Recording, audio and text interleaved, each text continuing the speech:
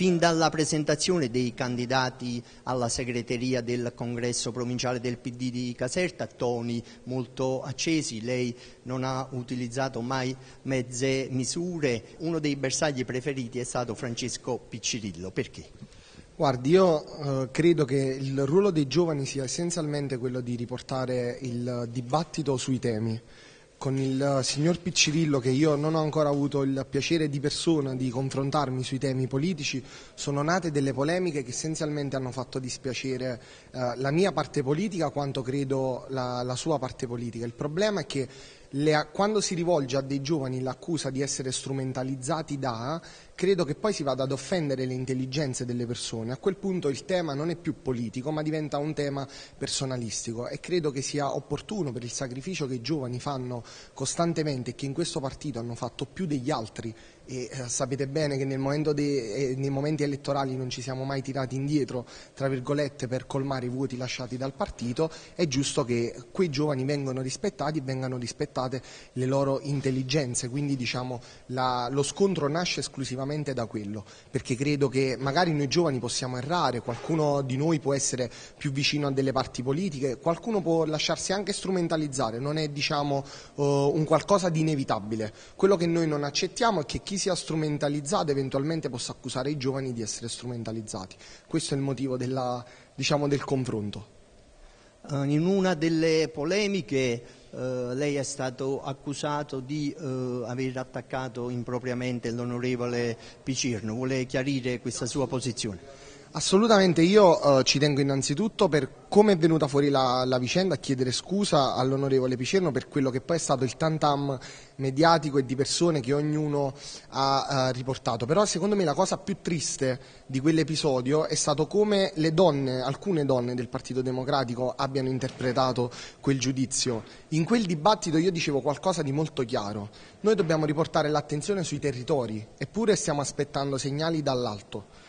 Il tema non era aspettare chi desse ordini, chi decidesse la data, chi ci dicesse le regole. Il tema era ricostruire una nostra autonomia, cambiare come eh, viene utilizzato da una parte verso, sta anche nelle modalità, nei toni, nel, mm, in, que, in, questi metodi.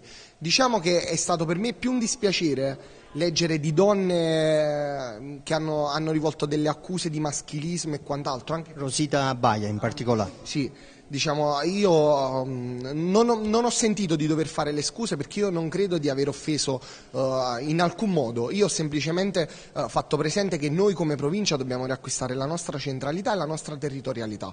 Chi aspetta ancora segnali dall'alto, chi va in una commissione perché gli viene detto di dire e di fare cosa, non è qualcuno che ha la mia idea di partito democratico, non è qualcuno che lavora nella nostra direzione uh, di partito democratico. Quindi il tema che loro hanno posto sul personale è per me un concetto politico molto più ampio. I giovani appoggiano in gran parte eh, Vitale perché rappresenterebbe il cambiamento.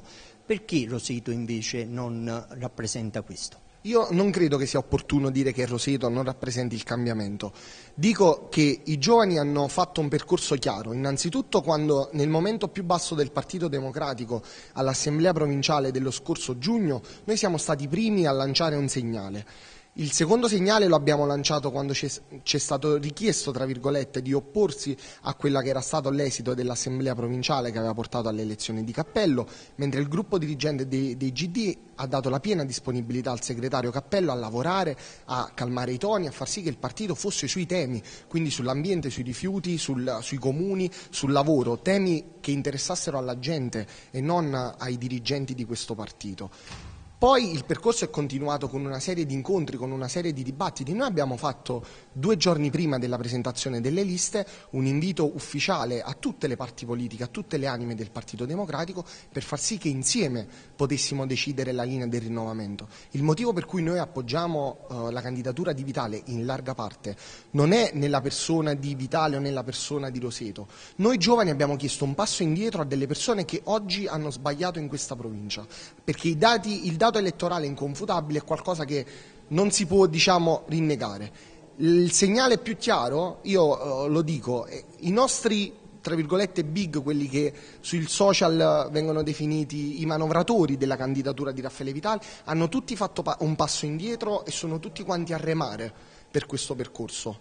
Dall'altra parte questo non avviene e per lo più queste persone sono in alcuni collegi addirittura capolisti.